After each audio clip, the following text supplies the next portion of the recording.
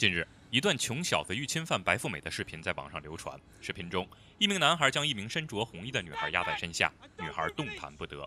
随后，安保人员赶到，将男孩控制。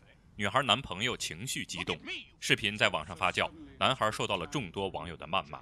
然而，真相却并不像视频片段所展现的那样。在完整版视频中，我们可以看到，男孩见义勇为，将想要轻生的女孩安全救下。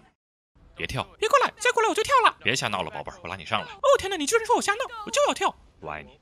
不听不听，王八念经。其实我对你早就一见钟情了，我爱你。男人的嘴，骗人的鬼。听话，你要是上来，我就和你搞对象。你可不能骗我！啊！救命救命！救我呀，死鬼！别怕，我妈已经掉水里了，我不会让你再掉水里，给自己找麻烦。用力呀，再加把劲儿！啊，你是我的了。随后赶到的安保人员和其男友没有目击全过程，自然把男孩当成了犯罪嫌疑人。一些不明真相的网友看到视频片段后，也断章取义，深深伤害了男孩。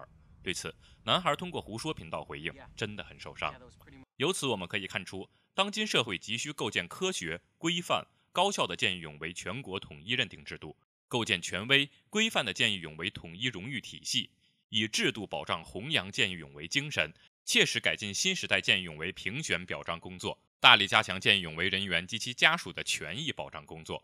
对于见义勇为者因见义勇为导致的自身损失，也应有相关的保障机制。不要再让类似于勇救红衣女孩这样的男孩再流泪。